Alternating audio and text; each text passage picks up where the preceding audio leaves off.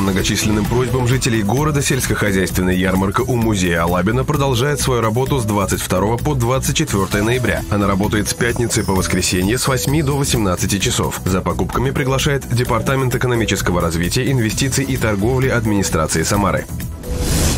В Доме культуры «Победа» прошла важная конференция «Юридическая грамотность подростков». В рамках Дня правовой помощи детям ребятам и их родителям рассказали об уголовной ответственности несовершеннолетних и их законных представителей. Участники конференции узнали о том, какие последствия могут возникать из-за нарушения закона и как защитить свои права, сообщает телеграм-канал промышленного района.